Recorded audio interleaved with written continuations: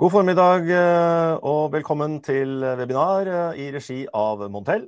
Vi er eh, direkte fra Montells studio i Oslo. Og i dag skal vi ta for oss kraftkrisen. Er den virkelig over? Og sammen med meg, Morten Egna, så har vi Gert Mollestad, redaktør i Montell.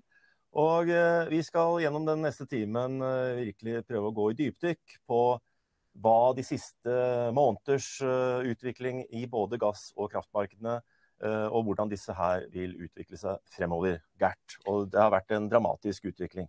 Ja, virkelig. Altså, markedet pika jo i august i fjor. 26. august var det de fleste kontraktene nådde toppen. Og, og, bare som eksempel, så da, da lå Mars-kontrakten Den ble handla til 325 euro på megawatten på det høyeste. Ja. Og i dag så ligger han på 54 euro. Så det har jo vært et et vanvittig prisfall som har eh, pågått de siste månedene. Altså, det kom en liten eh, topp da med, med den kuldeperioden vi hadde i desember, men, ja. men eh, trenden har vært bratt nedadgående. Mm. på gassprisen, og da også alle de andre tilknyttede markedene, altså særlig kraftmarkedet, hvor også prisene har falt jevnt og trutt uh, siden, siden uh, de ekstreme prisnivåene vi så i fjor. Mm. Og det virkelig det spennende blir jo å se hvordan dette går framover. Ja. Mm. Og eh, gassmarkedet ble jo reddet av et uh, veldig mildvær gjennom høsten. Mm. Eh, I tillegg til at uh, altså forbruket gikk ned, uh, og også mer gass kom inn gjennom mm. LNG, og mm. ikke minst fra Norge. Ja. Og Det er jo det som blir så spennende å høre i dag, hva, hva vi kan vente oss av gassmarkedet videre. For det er jo en utrolig viktig prisdriver for, for kraftmarkedet. Mm. Veldig bra, og det skal vi virkelig høre mer om. Vi har først da en presentasjon fra Sindre Knutson, som er gass- og LNG-ekspert fra Rystad Energy.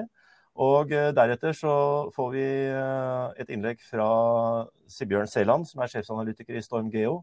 Og etter hans eh, betraktninger rundt kraftmarkedet, så har vi en, et panel med Sigbjørn, og også supplert med Siri Line Hove Aas, som er seniortrader i Aneo, tidligere Trønder Energi. Og eh, Rolf Helge Sørensen forvalter i eh, det nyetablerte eh, selskapet Bergen Synergy. Og de kommer vi tilbake til litt utover i sendingen. Så først så ønsker vi å gi ordet til Sindre Knutson fra Rystad Energy.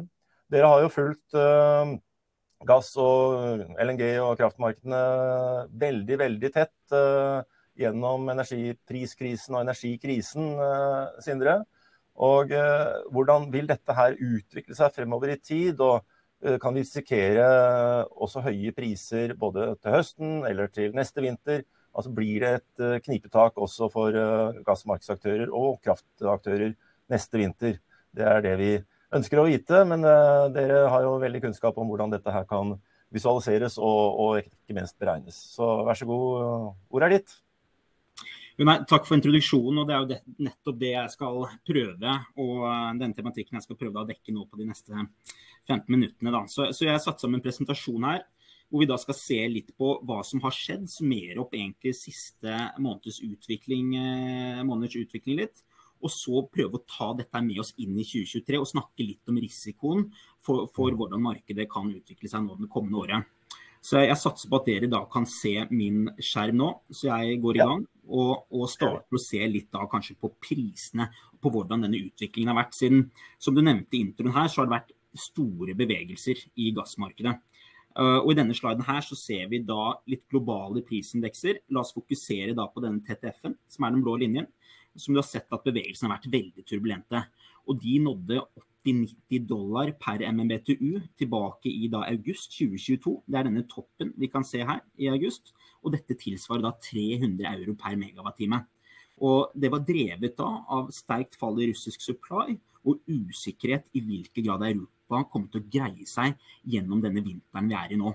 Men som du også nevnte, så, så har vi sett et mildvær gjennom høsten. Vi har sett høy uh, import av både LNG og norsk gass som har da bidratt til å drive da etterspørselen ned, og drevet av en forbedring i balansene da, inn i andre halvår i 2022 og nå inn i 2023. Så nå ser vi da at prisen er nede på 20 dollar per MMBTU, eller ca. 50 euro per megawattime. Og de største endringene vi ser nå i markedet, er at over den siste perioden så har gassprisene rett og slett levd sitt eget liv. Det har vært drevet av konsumentenes vilje til å betale, hvor alternativet har vært å stenge ned f.eks. industrien din. Men vi ser nå at for, for, første gang så ser vi at plutselig får gassprisen litt støtte fra alternativkostnaden, som kan være eh, kullbruk i strømsektoren, som er representert av dette her C2G, coal to gas switching-båndet. Eh, så vi ser nå en mye bedre balanse i markedet inn mot 2023, drevet av en forbedring i, i, i, i eh, lagerne. Og før vi går inn og faktisk ser på hvordan de ulike driverne vil utvikle seg i 2023, så kan vi også ta og se på, på en liten rask review av 2022, som jeg valgte å presentere her i, i, fire ulike figurer. Så jeg skal gå litt sånn effektivt gjennom det. Men det største i hvert fall sjokket på markedet i 2022, det var et betydelig fall i russisk rørgasseksport, som da falt 70% gjennom året, eller da godt over 80% year over year. Og Det var drevet da av at uh, volumene stoppet gjennom da Polen, men også da gjennom Nord Stream, som da er nå helt avstengt. Og også da uh, ble da sprengt i, i, i september. Uh, drevet av en eksplosjon der. Så nå er det kun volumer fra Russland gjennom da Ukraina og Tyrkia.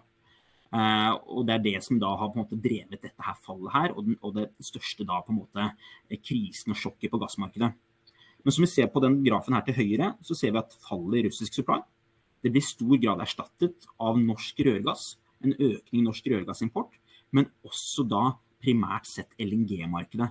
Så du ser en sterk økning i LNG-import i løpet av 2022. Og dette har da bidratt til en bedre balanse, men det har ikke vært nok. Så vi har også trengt et kraftig fall i etterspørselen i Europa. Og som du ser på den tredje grafen her, så har vi sett et fall i løpet av 2022 på ca. 12,5% gjennom de første 11 månedene.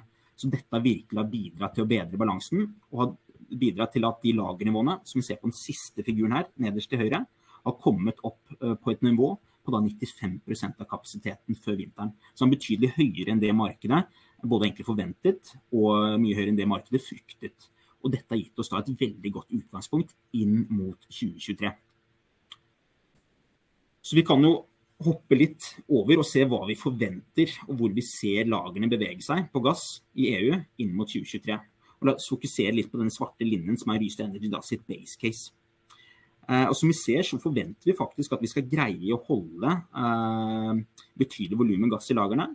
Men dette, da, dette antar jo da at vi ser en, en stabil flow av russisk gass gjennom Ukraina og, og Tyrkia eh, inn til Europa. Vi forventer en sterk, en robust eh, LNG-import også, at dette fortsetter. Og det krever også at vi holder etterspørselen nede ca. 10% sammenlignet med dette femårsgjennomsnittet til EU. Og dette vil koste. Eh, men hvis vi greier det, så vil vi se at vi greier å holde eh, en, en mye sunnere eh, beholdning av gass i lagrene nå gjennom både 2023 og faktisk også 2024. Men vi har også to andre litt mer ekstreme scenarioer her, som sier litt om sensitiviteten her. Og det i tilfelle hvor vi ser et full stopp av russisk rørgasseksport til Europa, så ser vi at det blir veldig vanskelig gjennom denne vinteren og vinteren etter der. Så Det viser hvor også sårbar Europa er mot videre også fall i russisk eh, eksport. Vi har et annet scenario hvor vi ser at hvis Europa greier å kutte 15% da ser vi en mye forbedring i lagrene. og vi ser faktisk at dette teknisk ikke er mulig, eh, drevet av, av, av, eh, av lagerkapasiteten. Men hvis vi kutter, greier å kutte 15% gassetterspørsel eh, sammenlignet med gjennom, femårsgjennomsnittet, så kan vi faktisk kutte litt LNG-importen og, og, og øh, eller bygge laget litt videre, noe som også vil hjelpe på balansen. Men disse sensitivitetene sier litt om hvor sensitivt, hvor sårbart uh, gassmarkedet er i forhold til endring i supply, f.eks. russisk gass eller LNG, men også etterspørselssiden. Men la oss hoppe litt og se hva vi forventer i vårt base case, som er denne svarte linjen her. Og da kan vi starte å se litt på supply-siden av gass, hvordan den vil utvikle seg, før vi hopper litt på etterspørselssiden, og vi tar også litt på, på kraftsektoren. Men det dette, denne grafen her viser, dette er da endringen i gass-supply-miksen til eh, Europa fra 2021 til 2022 og inn da i 2023. Så la meg først kommentere litt på denne endringen vi så inn til 2022. Eh, og da så vi et fall i, i gass-supplyen på 12,5% Hvis vi deler opp og ser på driverne, så er dette drevet av et fall i russisk supply, rørgass, som er denne lyseblå eh, kolonnene det blir stor grad, som vi ser, eh, offsetta av høyere LNG-import. Og delvis også eh, høyere rørgassimport fra f.eks. Norge. Men så isolert sett så greide vi her, som vi ser, å erstatte mye russisk gass gjennom andre kilder. Men siden vi startet 2022 med rekordlave lagernivå, så måtte vi og brukte vi masse gass i 2022 på å bygge opp lagrene. Det er derfor det er det vi ser på denne negative verdien her. Eh, at mye av den eh, gasssuppplyen vi fikk i Europa, måtte vi sende direkte inn i lagrene for å forberede oss på den vinteren vi er i nå. Og Det førte da til at, at eh, den markedsførte supplyen falt ca. 12,5% Hvis vi ser da på bevegelse inn mot 2023, så kan vi se at vi forventer et fall i russisk supply inn på 33 milliarder kubikkmeter. Dette forventer allikevel at vi skal se volumer inn gjennom Ukraina og, og, Tyrkia. Vi forventer også et fall i egenproduksjon i Europa. Men vi forventer en svak økning i, i rørimport fra, fra, eh, fra, land utenom Russland, drevet av Algerie og Aserbajdsjan.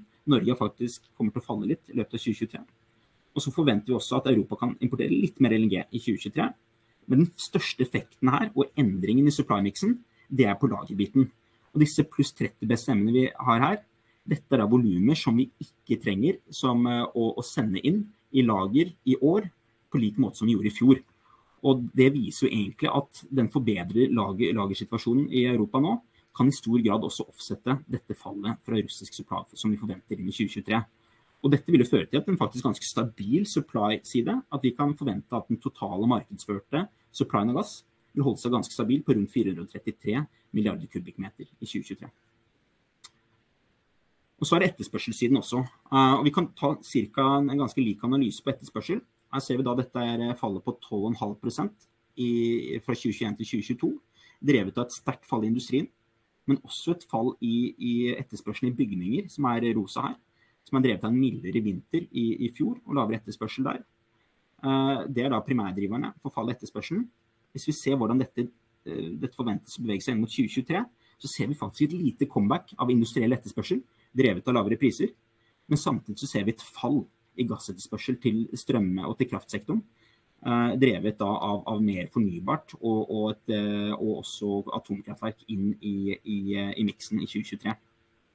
Men den store usikkerheten som har vært egentlig på etterspørselssiden, er da forskjellen mellom mild og en kald vinter. For dette kan da utgjøre pluss eh, minus 30 milliarder kubikkmeter på etterspørselssiden, som er da 7-8 av total etterspørsel i Europa. Og det er derfor denne her vinteren er såpass viktig for hvordan balansen vil se ut. Heldigvis nå så går vi mot en, en, en, en ganske så mild vinter, noe som virkelig da vil støtte gassmarkedet og balansene inn da mot 2023.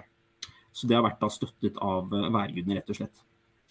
Eh, men her ser vi da at avhengig av hvordan vinteren vil bli, så, så, kan man si at det er et spenn på etterspørselssiden på mellom 426 og 456 milliarder kubikkmeter. Og Hvis vi sammenligner det da med den supply-siden fra, fra, forrige slide, så ser vi at ved en mild vinter så kan vi faktisk eh, vil være mindre trykk på markedet. Og vi har et overskudd på ca. 6 milliarder kubikkmeter. Men ved en, da, en kald vinter, som er da mye eh, mindre sannsynlig eh, nå, nå, i år, så ser vi et mye da strammere marked med, med tightere balanser her. Men dette her eh, var det markedet mer fryktet, og som drev litt den der spiken vi så i desember på prisene. At vi skulle se en, en sånn cold snap komme inn i markedet, men dette er nå avblåst. Eh, I stor grad, og vi har kommet oss godt gjennom vinteren. Så, så vi ser at, eh, at etterspørselssiden vil ligge nærmere nå dette her lave nivået her, eh, som driver da en bedre eh, balanse. Det vil fortsatt være viktig å holde etterspørselen nede. Og, og, jeg har to slides her på industrien som jeg syns er litt viktig å bare ta frem. Og det er at eh, Som vi så i 2022, så fikk balansene i stor grad hjelp av industrien. Ettersom vi så at industriell etterspørsel falt over 20% i Europa. Dette var i stor grad drevet av, av både petrokjemi eh, og, og, og, de kjemiske sektorene, inkludert av gjødsel. Eh, ettersom prisene på gass ble så høye at det ble negative produksjonsmarginer, så industrien stengte ned. Dette er et stillbilde fra oktober som viser litt om ulike fasiliteter som kommuniserte at de stenger ned, eh, enten helt eller delvis, eller planlegger å gjøre det. Og dette da bidro, eh, De høye prisene bidro da til lavere etterspørsel og en bedre balanse i fjor. Men hvis vi ser litt på disse marginene eh, på f.eks. gjødselsindustrien, så vi kan se fra grafen til venstre nå, så ser vi at da når vi er på vei inn i 2023 nå, så ser vi faktisk en forbedring i marginene til, til gjødselproduksjon som indikerer at, skal, at etterspørselen kommer litt tilbake. Det ser vi nå at eh, pga. ettersom at prisen på, på, på, gjødsel igjen er da høyere enn produksjonskostnaden, noe som indikerer en bedre eh, positive marginer og et comeback på, på, på gjødselsproduksjonssiden, noe som da driver gassetterspørsel opp. Dette har vi da sett hint av da, også inn mot slutten av 2022, at vi ser et lite comeback i, i den generelle produksjonen for da kjemiindustrien da i Tyskland. Eh, I kontrast til det fallet vi så på 22% Så her ser vi at det er mulig industrien kommer tilbake og kan respondere på disse lavere eh, prisene her. Og det kan igjen påvirke balansene og drive opp prisene. Eh, så, men igjen, det er viktig å holde etterspørselen nede for å sikre en god balanse. Men der får også Europa god hjelp fra da kraftsektoren. For hvis vi ser på da kraftsektoren som helhet da, i, i Europa innen 2023, så ser vi faktisk 39 gigawatt uh, av ny vind- og solkapasitet som vil komme inn i markedet.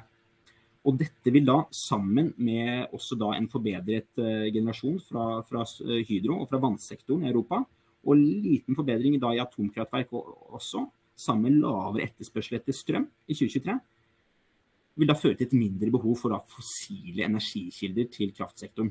Og dette vil da bli, være splittet mellom kull og gass, men ca. halvparten er forventet at uh, da vil påvirke gass, og at vi kan kutte da betydelig i gassetterspørselen for kraftsektoren i da 2023. Og dette vil da bidra til balansen.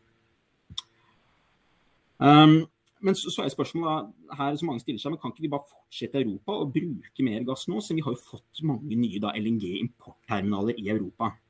Og dette stemmer jo. Vi, vi, hvis du ser på da de nye LNG-importterminalene som nå har kommet uh, da siden september i fjor, og da, som vil komme i løpet av 2023, så ser vi alene i, i Nordvest-Europa, dette er da kun Nordvest-Europa, vil det komme da åtte nye terminaler.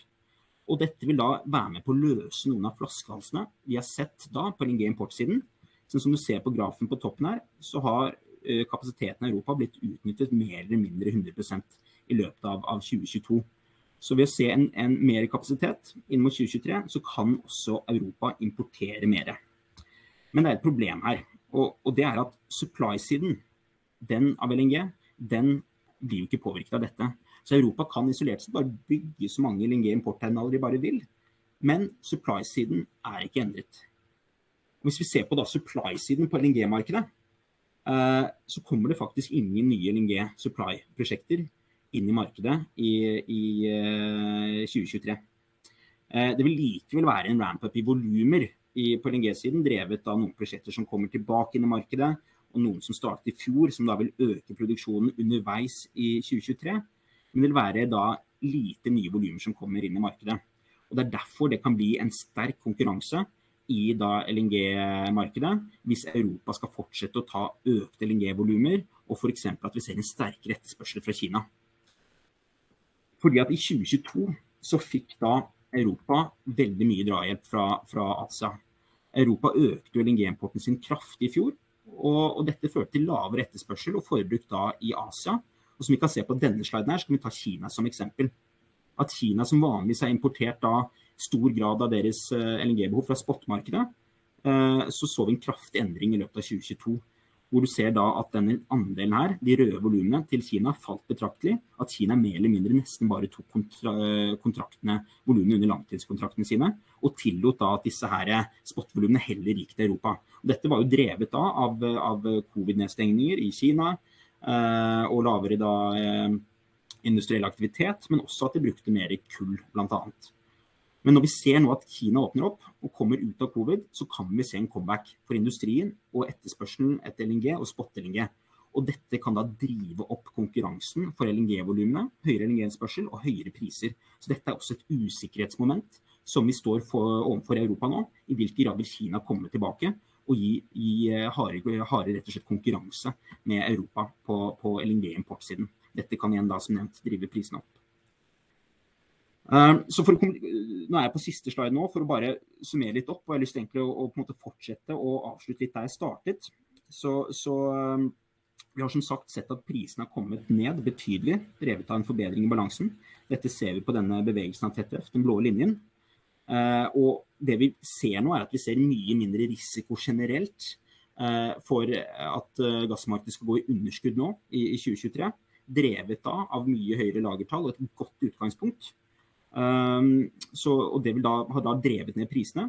Men likevel så vil jeg ikke si at krisen er over. Prisene ligger fortsatt høyt. Og det er fortsatt usikkerhetsmomenter her. Vi har diskutert noen av de. Det er bl.a. da et videre fall i russisk supply av rørgass, som kan skje hvis krigen eskalerer. Vi har været som kan påvirke fortsatt balansen denne vinteren her, men også de to neste. Eh, som er et usikkerhetsmoment både for Europa og også Asia. Hvis Asia ser kaldere vær, vil det også drive opp LNG-etterspørselen der. Og, og, og, drive opp prisene eh, på gass i Europa. Eh, og det er også dette generelle comeback av industrien i Kina som også kan være et usikkerhetsmoment. Og Det er dette virkelig som vil avgjøre nå hvorvidt prisene da på gass i Europa, hvis vi ser på TTF-en her i blått, om de vil ligge på 15 dollar per MMBTU eller 30 dollar per MMBTU eller for å konvertere det til euro per megawattime, om det ligger da på 50 eller 100 eh, dollar per megawattime. Så det er fortsatt usikkerhet i markedet, men vi har et mye bedre utgangspunkt for, for balansen nå inn mot 2023. Så da avslutter jeg der. Eh, Sindre, dette var veldig omfangsrikt og, og, og bra. Uh, og vi ser at det er veldig mange faktorer som uh, spiller inn her, uh, og som også selvfølgelig vil ha innvirkning på, på, strømprisene. Og det er positivt at det er såpass mye fornybart som kommer inn og kan avhjelpe situasjonen.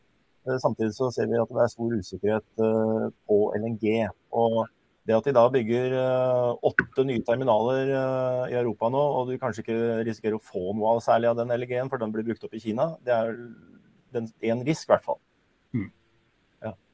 Ja, det, det stemmer. Mm. Ja, Nei, altså, det er jo veldig, veldig, interessant å se på hvor, hvor mye mildværet også har bety, eh, betydd i vinter. Altså, den, den, eneste som er, vel er misfornøyd med, med den milde vinteren, det er vel Putin, antagelig. Men, men, eh, men hvis, du, altså, det, hvis, du, skal prøve å få et litt klart svar fra deg, da, Sindre. Altså, nå ligger gassprisen på litt i overkant av 50 euro per megawattime. Altså, hvor tror du snittet havner for, for 2023? Altså, legger vi oss rundt der, eller får du den doblinga som du skisserte?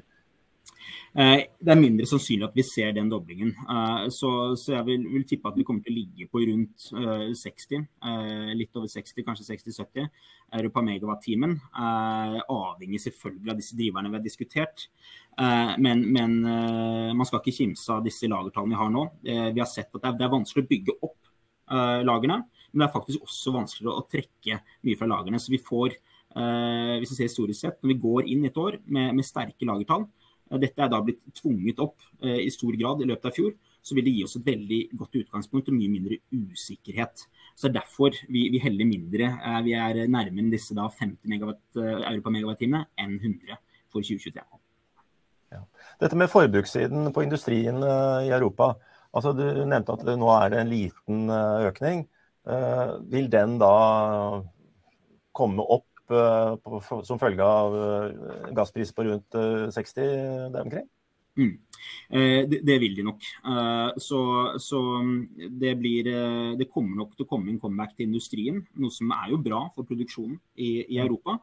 Ja. Men hvis industrien kommer tilbake rett og slett for fort, så kan man se likevel ganske store skift i balansen. For det var 20-25 fall i industrien i fjor. Kommer dette fort tilbake, så er plutselig eh, mye av dette overskuddet og det vi har bygd opp i lagrene, kan bli borte. Så Det er derfor at det er bra at industrien kommer delvis tilbake, men hvis den kommer for fort tilbake, kan vi se disse her spikene i, i, prisen igjen. Og vi kan komme ganske fort oppover på, på, på gass- og strømprisen i Europa. Ja. Privatkonsumet, da, vil det ha noen uh, store effekter fremover? Uh, ja, det kommer, det, du kan si at alle monner drar. Og, og privatkonsumet i Europa er jo også en stor andel av etterspørselen. Uh, mye går litt på automatikk gjennom uh, varmejusteringer og at det blir kaldt. Men man ser jo at konsumentene har blitt mye mer bevisste på, på forbruket sitt enn noen gang før. Så dette vil jo virkelig støtte markedet både på direkte bruk av gass for bygninger, men også da rett og slett ved den lavere etterspørselen på strøm, som vi også da forventer å se i Europa da gjennom 2023. Så Det vil også bidra til å rett og slett holde etterspørselen nede, som igjen vil være en viktig faktor for, for 2023. Mm. Jo, eh, nei, det er veldig interessant. Det blir meget interessant og eller spennende å se videre. Da, også Særlig også om kraftmarkedet responderer på, på lavere forbruk. Det, det, kan vi kanskje få eh, et lite synspunkt uh, også på fra, fra Sigbjørn Sæland i inn i Naston Geo. Så, ja. så, det skal bli veldig interessant å høre videre. Mm. Det er flott, og det gleder vi oss også til. Men hjertelig tusen takk Sindre Knutson, for ditt bidrag her i formiddag. Dette var veldig innsiktsfullt og nyttig, og det er veldig mye som vi som skriver om, om kraftmarkedet spesielt, også gassmarkedet, kan ta med oss videre i dekningen til alle aktørene der ute. Så tusen takk. Takk for at jeg fikk komme. Da, Gert, da går vi ja, et skritt videre. Det gjør vi, og vi nærmer oss Norden og kraftmarkedet. Så det skal bli veldig interessant. Og til å ta noen paralleller fra gassmarkedssituasjonen og over i det nordiske markedet og, og strømpriser, så har vi Sigbjørn Sæland, sjefsanalytiker i Storm Geo, som sitter klar. Og da, Sigbjørn, er du klar der fra ditt studio?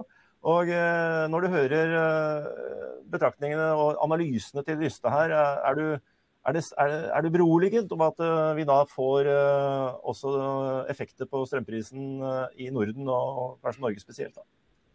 Ja, det, det kan man jo absolutt si. Det er jo en eh, Prisene på naturgass er jo en veldig veldig viktig prissetter for kraftmarkedet, både på kontinentet selvfølgelig, men også her i Norden, Sør-Norge spesielt. Så den utviklingen vi har sett i gassmarkedet har jo uh, forplanta seg videre til, til, kraftmarkedet. Og det ser jo veldig veldig mye bedre ut nå enn bare for kort uh, tid siden, selvfølgelig. Så, og Du skal jo også ta for, oss, ta for deg en del andre drivere og fundamentale forhold. og Du har noen plansjer å vise oss. Ja. Så da kan du gjerne starte. Da gjør jeg det. Deler skjermen. Skal vi se, hvor ble den hen, da?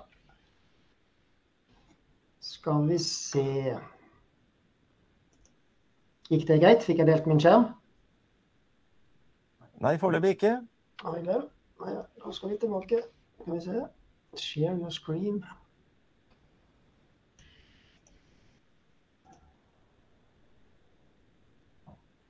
Der har vi det. Der har vi det. OK. Ja. Du, går på, du, går rett på, prisprognosen, ser jeg? Da går jeg rett på en uh, prisprognose for det kommende året. For uh, disse fem, uh, fem, prisområdene vi har i Norge. Um, ja.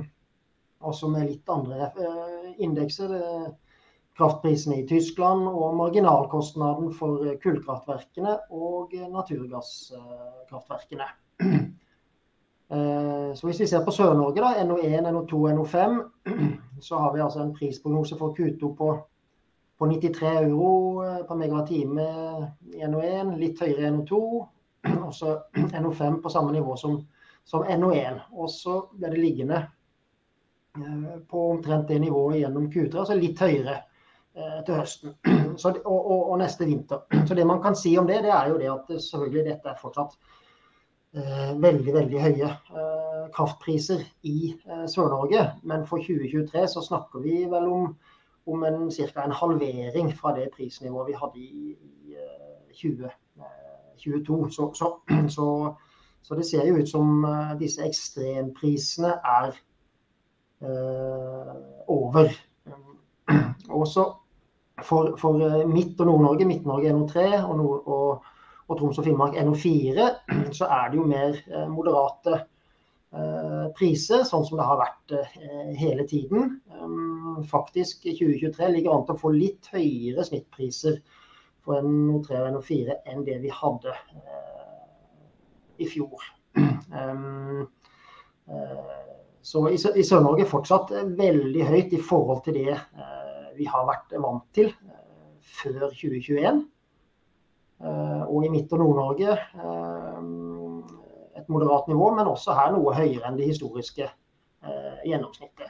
Og så selvfølgelig så, så, så, så eh, ingen vet eh, hvordan uh, vær- og tilsigsforhold blir resten av eh, året. Men det er klart jo tørrere og mindre tilsig det blir, jo nærmere vil kraftprisene i Sør-Norge spesielt krype kraftprisene i, i Tyskland.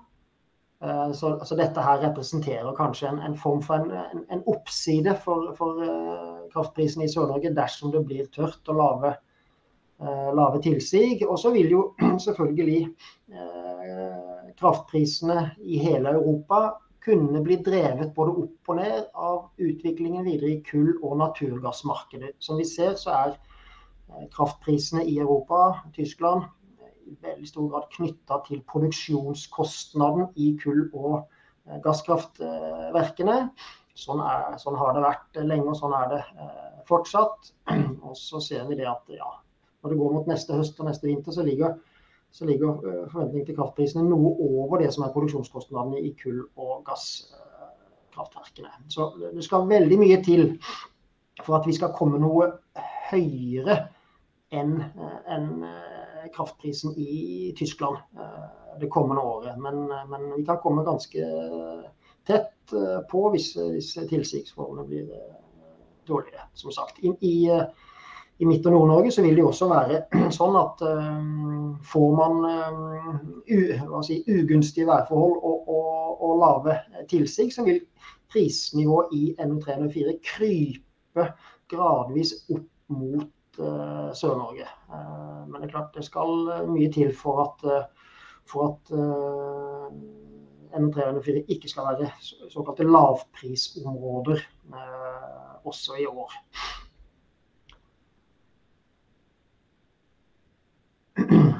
Et uttrykk for altså kraftkrisen, hva har det egentlig betydd? Det, det ses jo mest konkret i den forbruksreduksjonen vi har hatt i Norge. Går man et par år tilbake, så lå forbruket på rundt 140 TWh per år. Sånn var det inntil begynnelsen av 2021, første halvdel av 2021. Og hvis man ser på forbruket her og nå, så ligger det på ca. 130 TWh per år. Så den, de høye kraftprisene vi har hatt, de har skrelt bort ca. 10 TWh forbruk. Og da er det ca. 3 TWh som har forsvunnet fra den kraftkrevende industrien, og ca. 7 TWh fra den alminnelige eh, forsyningen, altså alt annet enn kraftkrevende eh, eh, industri. Så, så, så, så pris, prisoppgangen har, har, selvfølgelig hatt en, en påvirkning på, på forbruket. Det, denne forbruksnedgangen er nok i veldig veldig liten grad altså Det er veldig lite av, av dette som er permanent. Så vi ser nok bunnen i kraftforbruket nå. Og så vil gradvis dette kraftforbruket komme tilbake over de nærmeste årene, sannsynligvis. Så vidt vi er bekjent, eller sånn som jeg tolker det, så er det veldig lite av denne forbruksnedgangen som permanent er borte. Og så noe som er, er velkjent, selvfølgelig, men, men altså, Norge har et kraftoverskudd, så det er ikke kraftmangel. Sånn sett så er det ingen kraftkrise. I 2021 så, det, så eksporterte Norge 17 TWh. og I, i kriseåret 2022 så eksporterte Norge ca. 12 TWh. Og det var faktisk også nettoeksport, ikke stor, men ca. 1,5 TWh nettoeksport fra, fra Sør-Norge. Og i år så, så, så vil Norge nettoeksportere det er jo en forventning, da, men, men rundt 24 eh, TWh. Så, så, kraftbalansen i eh, Norge er jo eh, veldig sterk. Og så er det sånn at det har alltid vært prissnittet fra kontinentaleuropa til de norske eh, kraftprisene. Har det vært lave magasiner, har vi hatt en dårlig hydrologisk balanse i Norge. Og det, det skjer jo eh, relativt ofte, så har også kraftprisen historisk vært veldig like det man har sett eh, på kontinentet, og Tyskland spesielt, som et, som et, som et referansemarked. Og i, i kriseåret 2022 så var kraftprisen i Sør-Norge egentlig rekordlav i forhold til ikke i, ikke i prosent, men, men, men, det var god rabatt på strømprisene selv i Sør-Norge i 2022 i forhold til, til Tyskland. Så her har jeg en, en, en figur over uh, vannmagasinfyllingen i Sør-Norge. NO1 pluss 2 uh, pluss 5. Og den blå var, var uh, 2022. Og der ser vi jo at vi i perioder av 2022 hadde veldig lav magasinfylling. Og vi ser den, hvis vi ser på rundt i, i, august her, hvor, hvor, hvor, prisene var på det høyeste, så, så lå vi jo med veldig lavt inn, energiinnhold i magasinene og langt under det normale. Så da var det jo selvfølgelig en viss altså, nervøsitet knytta til om vi ville ha nok energi for høsten og, og, og vinteren. Men så, så, fikk vi jo en veldig, veldig gunstig utvikling utover, utover høsten, selvfølgelig. Og hvis vi ser til der vi er nå, så er vi omtrent på på normal vannmagasinfylling i eh, Sør-Norge. Så har vi laga en, en, en, en, prognose for hvordan denne kurven vil gå resten av året. Den vil sannsynlig, eller forventningsvis, ligge omtrent på normalt magasininnhold gjennom året. Så sånn sett så man, må man vel kunne si at sånn som det ser ut nå, så er det svært liten sannsynlighet for noen kraftkrise. Eh, altså Den er i hvert fall ikke noe eh, høyere enn en, eh, altså, den er sånn som den på en måte alltid er. Eh, vi er værutsatt. Eh, man kan alltid få en værutvikling som gir lave magasiner også eh, inn i, inn i høsten, og, og, høyere priser. Men akkurat nå ser det veldig, veldig bra ut. Når det gjelder Midt- og Nord-Norge, så ser man også den blå kurven um, som viser utviklingen gjennom 2022. Uh, og da hadde man jo periodevis ekstremt lave priser i NO3, og spesielt i NO4. Vannmagasin, veldig mange vannmagasiner gikk fulle, og pris, kraftprisen var jo tilnærmet null i, i perioder. Det kan absolutt godt skje igjen, men, men sånn som vi står nå, sammenlignet med i fjor, så ligger kurven, magasinkurven på et litt lavere nivå. Og, og sannsynligvis så blir det ikke priskollaps i NO3 eller 4 på samme måte som vi, vi, hadde i fjor. Men det er absolutt innenfor utfallsrommet at vi kan få en, en, en gjentagelse eh, av det. Så, så, så eh, jeg, jeg, vil si det at sant, med, med, det bakteppet vi har, med fallende Altså at gassprisene har falt eh, veldig, veldig mye. Kraftprisene i kontinentaleuropa har falt eh, veldig, veldig mye. Og vi har en, en, en, eh, en hydrologisk situasjon i det nordiske kraftmarkedet nå som er bra, omtrent på, på normalen. Og da, da, er det på en måte ingen grunn til å snakke om kraftkrise. Altså, ikke på noen annen måte enn at vi, vi fortsatt vil ha historisk sett høye kraftpriser um, i år. Og det er en, en, en krise for, for, eh, enkelte, selvfølgelig. Noe av kraftkrevende industri kan ikke føre den kostnaden videre til sine konsumenter, og opplever en, eh, en krise, det kan man godt si. Men, men, noen energimangel um, er det, kan man på en måte ikke snakke om.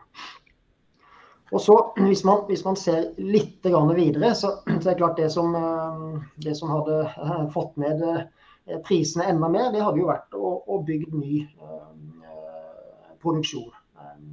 Og her har vi noen kostnadsestimater på, på det, det, det, som det, det, bygges rundt oss nå. Det er landbasert vind som koster ca. 40 euro per megawatt time. Det er bunnfast vind, bunnfast havvind som, eh, som uh, ligger på anslagsvis 55-60 euro per megawatt-time. Og så er det solparker som ligger på rundt 55 euro per megawatt-time. Uh, utbyggingskostnaden for solparker er, har vært fallende, kraftig fallende gjennom årene, og, er fortsatt antatt å falle en del i årene som kommer. Så kanskje ser vi 35-40 euro som kostnadsnivå der før 2030. Også havvind er en teknologi under utvikling, og man antar fallende utbyggingskostnader også der. Så, så, så, det er klart dette er utbyggingskostnader som ser lave ut i forhold til den kraftprisen vi har i Sør-Norge spesielt eh, nå.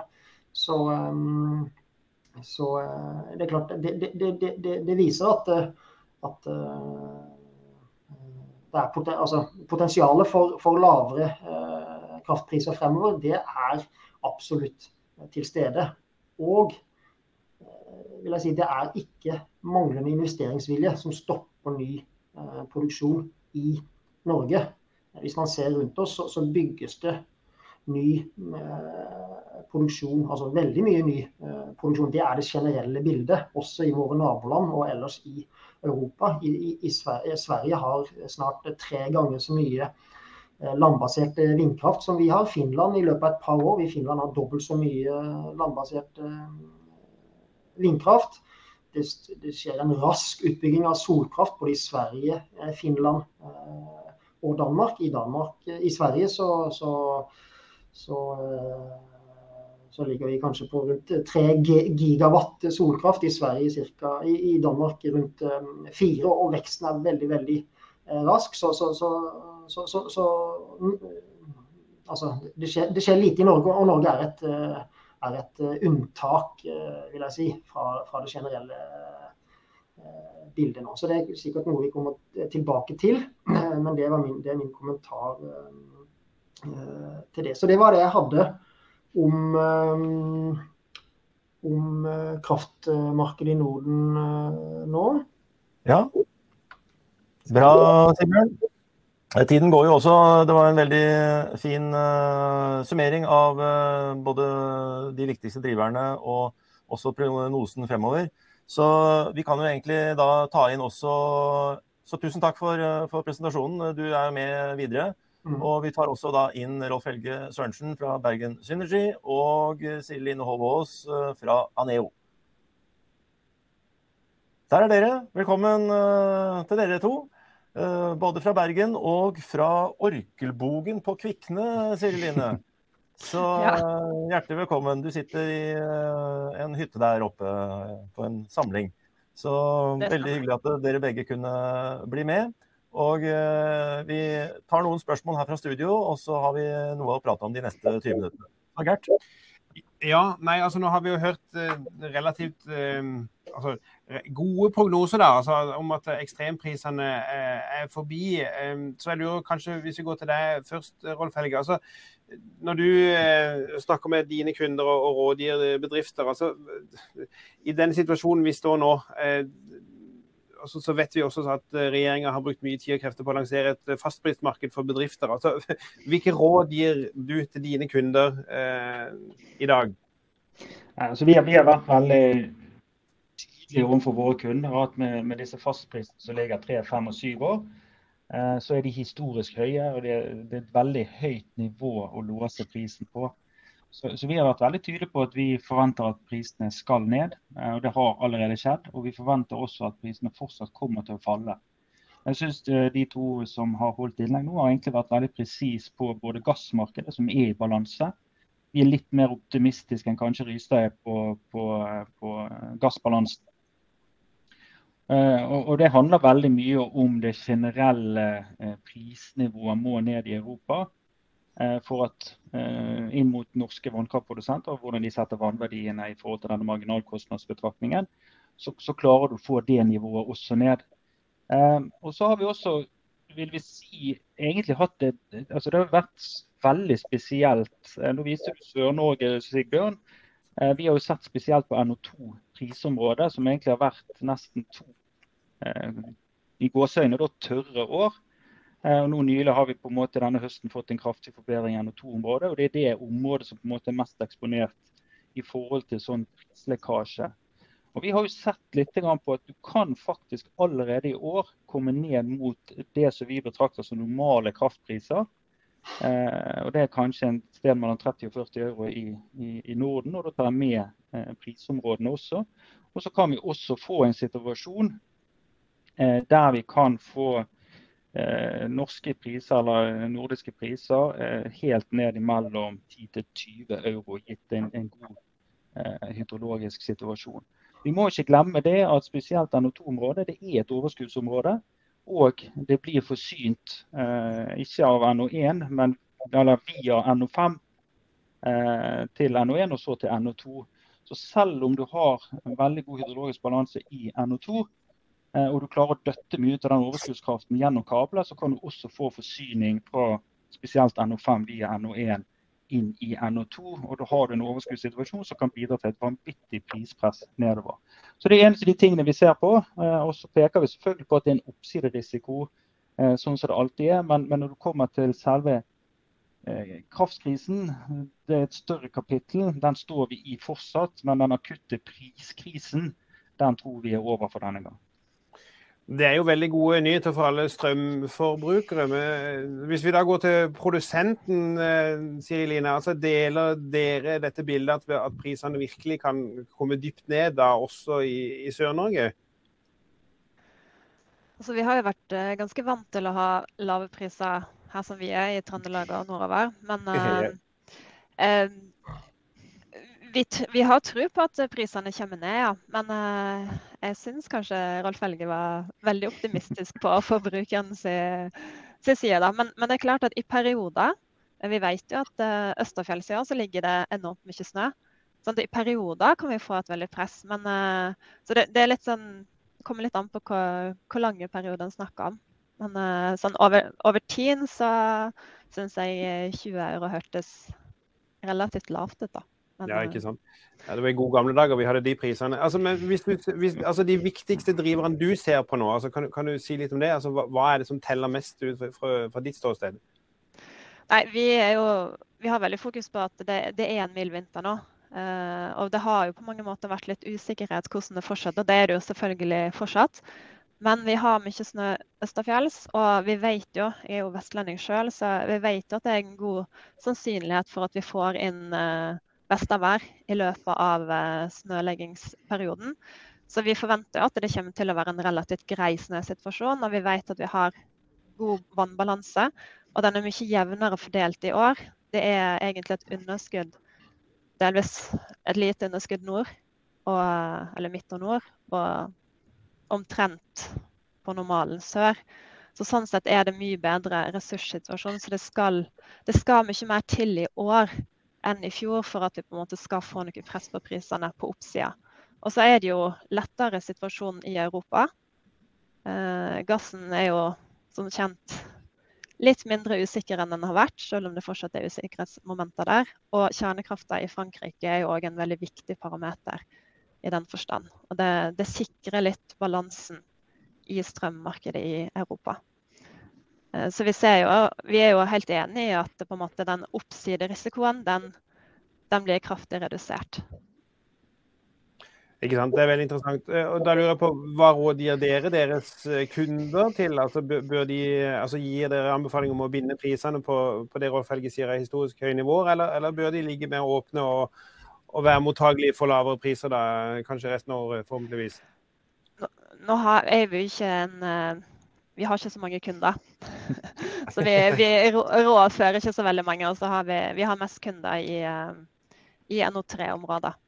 Så det blir en litt annen Det blir litt annerledes enn Men hvis du, skulle gi et råd, hvis du skulle gi et råd til bedriftseiere rundt om, altså, hva, hva ville du sagt da? Jeg, jeg, tror jeg ville sagt at uh, du kan ta risikoen, men, men, klarer ikke du å kunne ta risikoen, så bør du vurdere å sikre deg. Fordi det, det finnes både oppside og nedside mener jeg. Mm. Men det er klart at Sør-Norge har relativt uh, de har relativt høye det, det, kommer litt an på uh, tre fem, tre, fem og sju år er ganske langt fram i tid. Uh, så, men, men klarer, ikke du, klarer ikke du å redde bedrifter hvis prisen går opp, så må du jo vurdere å gjøre mm. noe. Ja. Jeg kunne tenke meg å stille samme spørsmål til, til Sigbjørn. Altså, ville, altså, hvilket råd gir, eller ville du gitt til da, en bedriftseier som spør om man bør låse inn prisen på, på disse nivåene vi ser nå i, i fastprismarkedet? Nei, det er som sier, Line sier, at det er jo forskjellig fra bedrift til bedrift. det. Altså, må man, så må man på en måte. Men det er klart eh, prisene på, på, Hvis du ser på, på Nasdaq-markedet, så ligger jo prisene i Sør-Norge høyt eh, for mange år eh, fremover. Og, og, og, jeg vil si veldig høyt i for, altså, kjempehøyt i forhold til alle historiske nivåer, og høyt også i forhold til, til uh, utbyggingskostnader for ny eh, produksjon. Så, så, selv om det går veldig veldig tregt eh, i, Norge og Sør-Norge nå, så, så, skjer det mye mye rundt oss. Så det er et uh, ja, det, det, det, vil smitte inn på, på, på Sør-Norge også etter hvert. Så uh, det, det, er veldig veldig vanskelig å si, uh, selvfølgelig. Men, men kan, kanskje litt grann, nedside, på, på, litt sikt i hvert fall. da. Mm, mm. Det er interessant. Eh, eh, tida flyr her, men, men, vi har lyst til å åpne et lite tema til. og Det er i forlengelsen av dette bedriftsmarkedet, altså fastprisavtalene for bedriftsmarkedet. og det, det, er konsekvensene for det finansielle markedet på Nasdaq, hvor jo likviditeten falt til det laveste nivået på 25 år i fjor. Og det, og det går jo særdeles tregt også i år. og, og der, Rolf Helge, har jo jeg vet du også, Sirline, har ganske sterke synspunkter. så Vi kan kanskje ta det først, Rolf Helge. Altså, hva, hva tenker du om situasjonen og, og de grepene som myndighetene har gjort? Nei, altså vi syns det er litt sånn trasig at man innfører et fastprisregime som favoriserer eh, produsenter i form av grunn, fordeler de får på grunnrentebeskatningen. Altså, eh, nå har jo produsentene veldig mange år betalt eh, grunnrentebeskatt basert på spotpris. Men hvis de selger da, eh, langsiktige fastprisavtaler, eh, så får de da legge det til grunn for eh, grunnrentebeskatningsberegningen.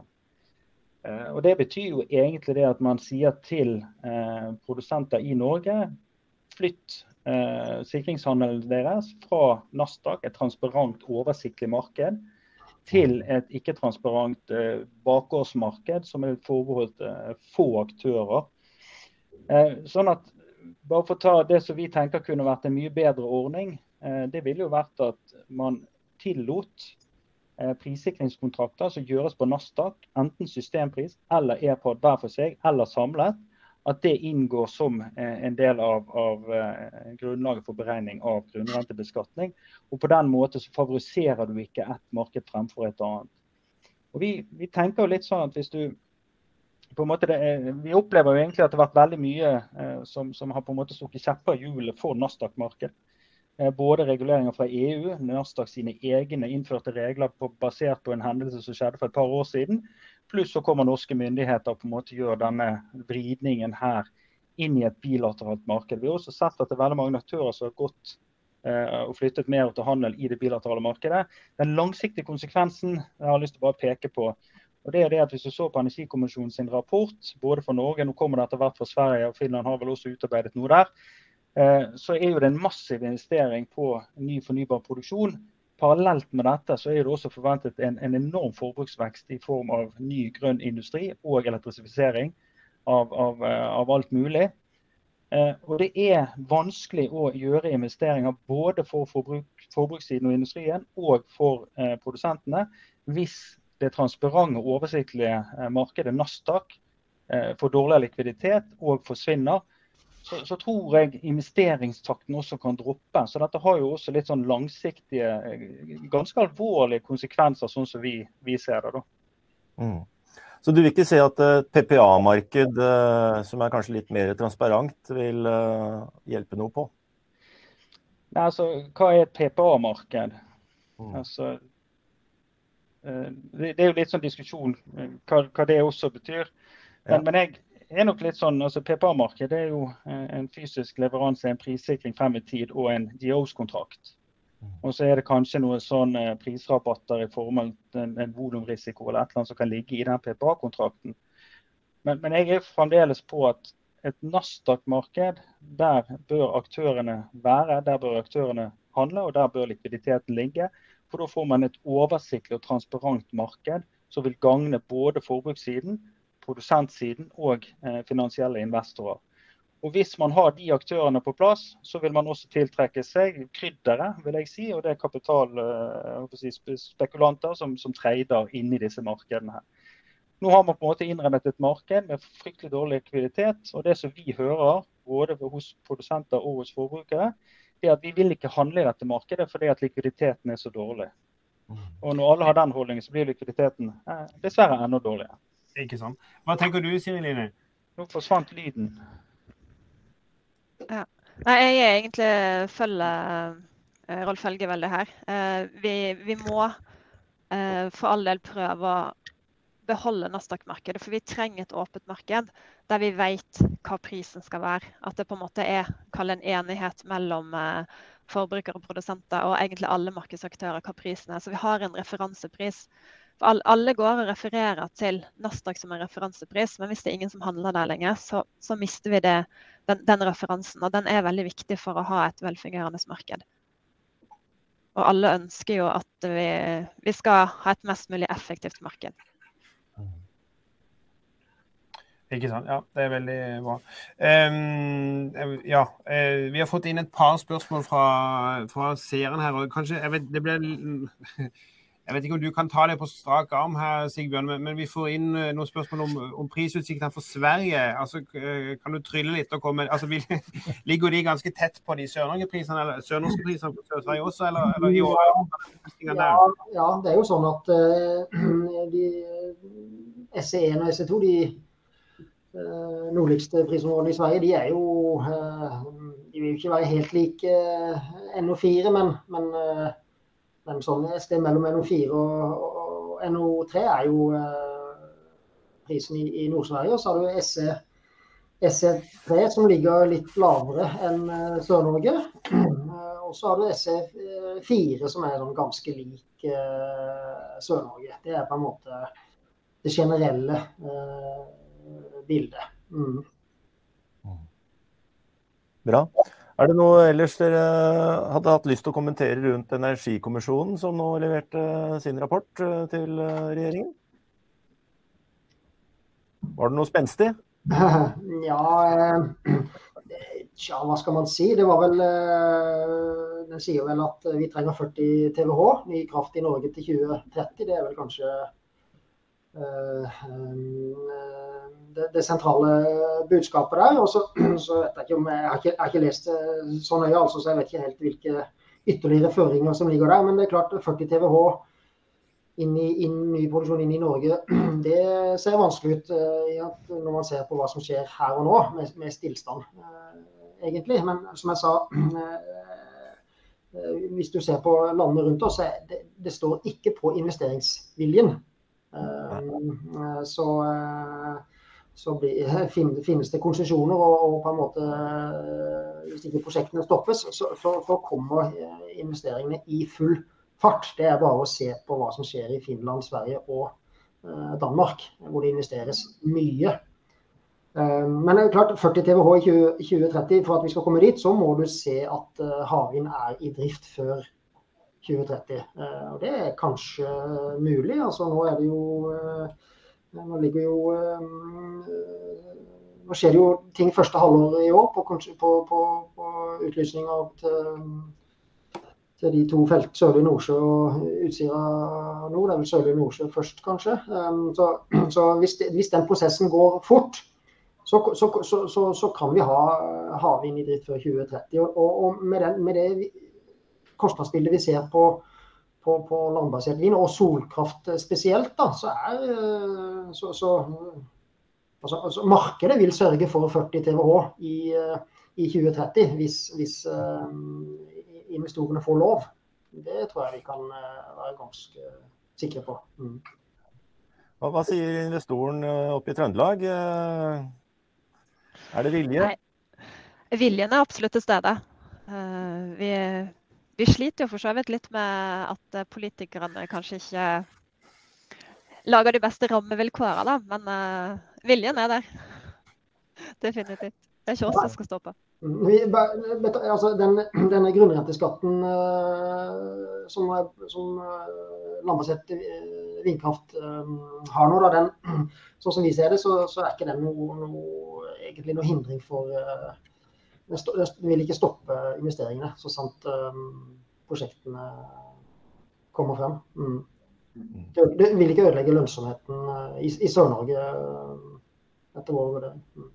Det er jo en god nyhet oppi, oppi Alta. Men, ja. For det har jo kommet mye fra politisk hold nå som, som påvirker kraftmarkedet ulike, med ulike innfallsvinkler her. Da. Så det er litt nye tider med, med mye intervenering. Mm.